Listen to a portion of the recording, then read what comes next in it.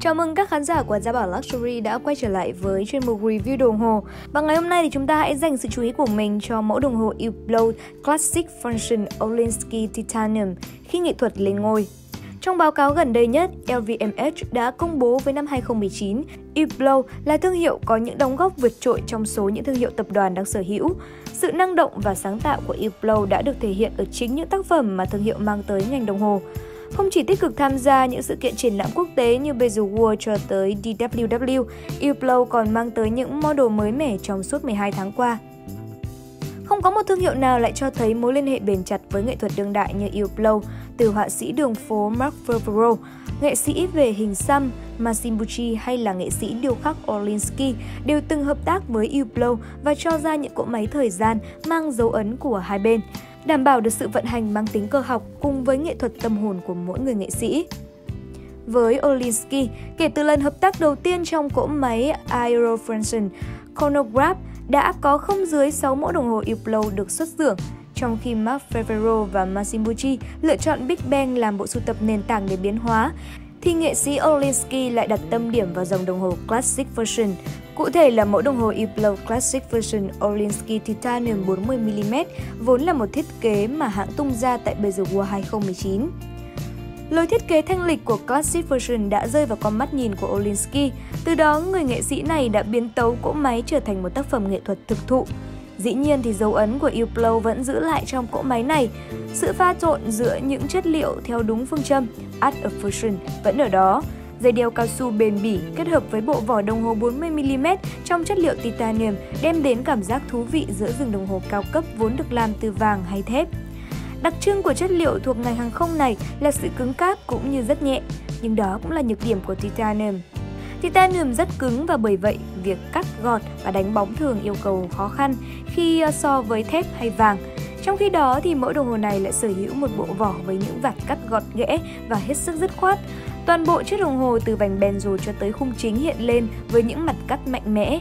Rõ ràng, dấu ấn đậm chất Olinsky đã thực sự hòa quyện vào kết cấu vỏ của chiếc đồng hồ này. Dấu ấn Olinsky là gì? Richard Olinsky yêu thích việc tạo nên những tác phẩm điêu khắc về các loài động vật một cách hoành tráng, rực rỡ với cách tiếp xúc đa diện. Từ tác phẩm mang tên White Kong tại Cannes hay chú gấu cao 5 mét tại Coachella Richard Olinsky thực sự đã truyền rất nhiều cảm hứng về nghệ thuật lẫn thế giới tự nhiên cho các thế hệ trẻ.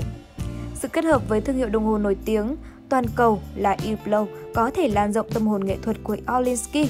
Những mặt cắt dứt khoác đã được mang vào những thiết kế đồng hồ xuất hiện bây giờ World 2019.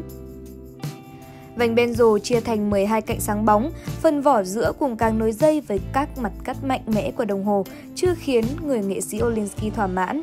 Người đàn ông này tiếp tục phát thảo nên một mặt số với những vết cắt dứt khoát để từ đó Hublot thoải mái triển khai kỹ thuật đánh bóng hoàn hảo trên chiếc đồng hồ này.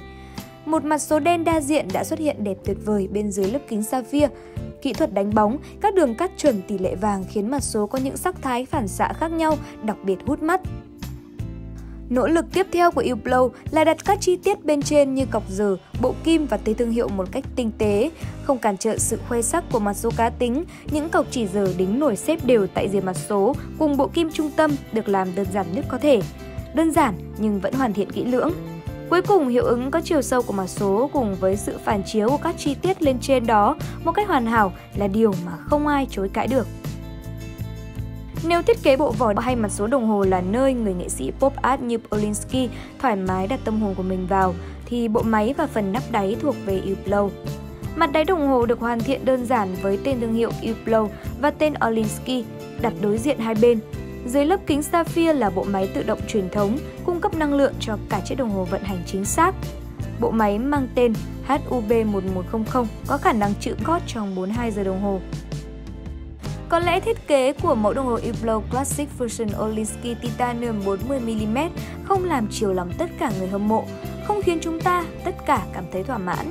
Nhưng xét về khía cạnh sáng tạo thì buộc phải công nhận cả Olinsky lẫn Hublot đều đã hoàn thành nhiệm vụ kết nối hai dấu ấn một cách xuất sắc. Còn các khán giả của Gia Bảo Luxury nghĩ sao? Hãy để lại ý kiến của mình ở phần bình luận bên dưới và đừng quên theo dõi những video tiếp theo. Xin chào và hẹn gặp lại!